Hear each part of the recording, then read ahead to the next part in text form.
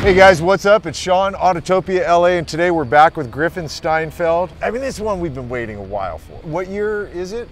It's a 1956 Chevy, twin turbo LS. I built the motor myself. It's got a huge turbo 400 transmission, really bitchin' Currie F9 rear end, precision turbos up front, uh, breathing all the fresh air, precision blow off valve wastegate, AFR cylinder heads, John Doherty camshaft. Yeah, it's just because it's, it's, a, fully built motor. It's not Yeah. just an LS with twin turbos. no, it's a Dart LS next two block. It's got all the big half inch head studs, main studs. Now, and you're making what kind of power right now with this? When we were on the engine dyno with the turbos, just doing some braking, just super baseline tuning and stuff, it made a little over 1400 horsepower and 20 pounds of boost.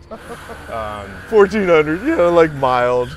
Yeah, it is. I mean, it's it's we're going to be on that power level right now, so we'll, we'll be right around that you know 12, 1300 wheel range, and uh, Yeah. the motor's seen as high as 41 pounds of boost. So I can imagine it's Really? it's definitely one of the 2000 range once it's really turned up. So Wow, dude. it's it's it's an animal.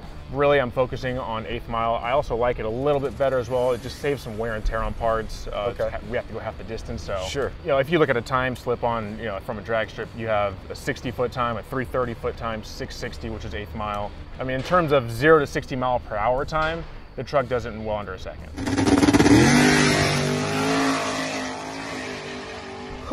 Yeah, it's like it's like eight tenths of a second. We're doing 60 Really? miles an hour. Yeah, Wow, that's so insane, man. yeah, it's it's. And what are really you doing an eighth mile in? So far, the thing's gone. Was it 512 or 514 in the eighth at 136? Gosh. The truck went to Luke and Pata Access Innovations once you know it came out of the chassis shop. They pretty much finished all of it. They did all the carbon work, the plumbing on it, and uh, I'm very very happy that they're they had their hands on this thing. And um, you know, it's really honestly the only couple things we got to adjust is that one little transmission issue. Hughes is already on it. Yeah. Um, they even said. Hey, uh, go film this video today. We'll take care of it. If something breaks, we're gonna take care of it. So, Right, because you said second gear's gone right now I don't of have last second weekend, gear. right? yeah, the truck goes from first to third. So, Can we pop the hood and look? yeah, yeah. Jeez, man. I love the bling bling stuff. So Gosh. everything is is polished and clear ceramic coated. So you know when when I'm in there working on it or I'm having some help working on it, people are putting their hands all over it. You don't see fingerprints. It's super nice. And if greasy hands do slide over parts, you just take a, a little chamois and wipe it all off. right so up, huh? yeah, that's that's a nice part. You know, a little tip for trick out there if you want to keep your polished parts looking nice. Is it full tube chassis, the whole truck? Yes, it is. It is. It is a full tube chassis. I mean, I was trying to keep that a secret for a while, but the pictures were getting out. So, I mean, it is Yeah. what it is. It is still like steel fender, steel hood, cab doors with power windows, and you know, it still has a lot of the creature comforts in it. And you know, that was my biggest thing too, is because you know, like I said in my in the other videos with you, no matter how wild my builds get, they still stay streetable, licensed, Yeah. registered, insured, so I can hop in at any time, go to the grocery market, run to the bank, go get some food in it. It- the truck runs on three different fuels. It'll go on 91, E85, and then when we're hammering on it, it's on methanol. So Because I already noticed you got a beadlock wheel on the back. What are the wheels you're running on here? the fronts are welds. They are 17 by four and a halfs up front. The rears are Sanders double beadlock. They're uh, 15 by 14, so 14 inches wide, uh, and uh, it's got a, a radial tire on it. So I'm a big fan of all the radial stuff. Uh, I used to race on a slick a whole bunch, and the second I took, it was actually the Chevelle I, I went down the track the first time on a radial with. First time I did that, man, I'm sold. Never going back to a slick. So Really? yeah, it's it's a, it's crazy how much of a difference a change, changing a tire does. Um, a radial tire is way more efficient than a slick, and it's kind of interesting to hear that because with a slick you have to manage traction. With a radial, you slam that thing in the ground as hard as you can. It's completely locked up to the ground, and it does not spin. I like the look, by the way, of how you went with, you removed the handles, although you didn't. You've got actually, did you see this? Do you see where his door handle's at? It's the only part on this truck that's a Ford part. That's from a Ford like Model A. No, I think that's a cool thing, dude. When we were getting in it just a little while ago, I mean, normally it's going to be here, obviously, and that's going to look ugly on this thing. Yeah. Plus, probably, I got to guess, probably part of that's aero. It's going to create some level of drag. So actually, I mean, I'll step back a little bit. The, the, the kind of the story with this truck, the way I got this truck, I was walking down uh, to go to her place, and I saw this truck sitting in this dude's driveway behind gates. I stopped dead on my tracks, and I'm sitting there at the gate like a little kid staring at this thing, and he just so happened to walk out.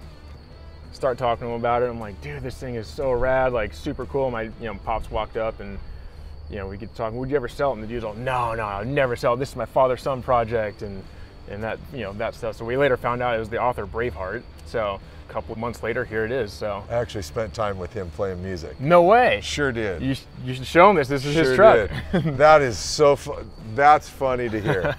that is really funny. That's rad. He's a cool guy. When I got the truck from him, door handles were already shaved. He had done a few cool things. I mean, the thing had a you know a stock small block 327 in it. Uh-huh. you know, it was just a great little Sunday Little street cruiser. cruiser. Yeah, yeah. yeah. The cage work is really extraordinary in this. I mean, it's a little bit of a crawl in, but one, but it's, It's a jungle not gym for sure. It's not. It's it's not as bad as it, it. It it looks a little more intimidating than it is getting in.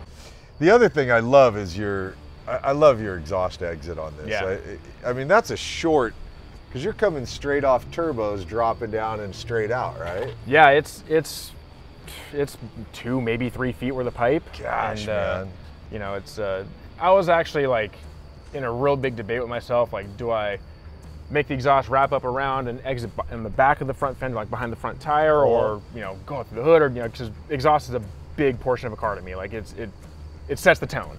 I've never ever been in a drag vehicle when the chute comes out. okay. How how like how much do you notice it when you're when it comes out and it fills with air? Is it a noticeable slow up? It's it's the I guess the best way to put it, it's almost like getting in a head-on collision with a marshmallow. It's a very like it's it's al- it's weird, you know. It's a very positive engagement, like you know it deploys, but it's a very just nice like whew, you know, Okay. and so anyways, this is one of the cool things too. Everything's Bluetooth as well, so we do that and then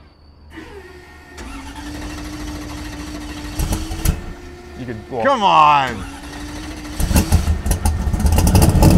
you started from your from your phone. That's badass. All right. Time to go for a drive. Cool. Let's get in this puppy and do it.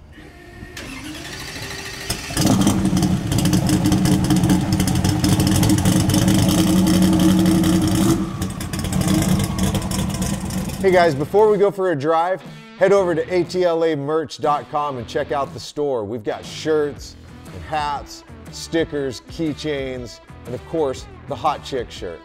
All right, let's go for a drive.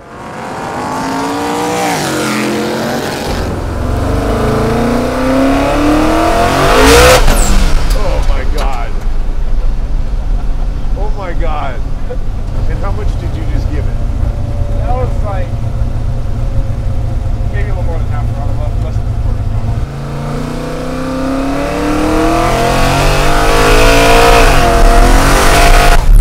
Oh my god, dude. okay, that's yeah. This is the fastest thing I think I've ever been in. We're on baby power right now too. Yeah, that's okay. Baby power's good for me. I don't want to fuck up your interior with puke. Yeah, I'm just curious to hear how loud it is. Oh yeah, okay, it's loud.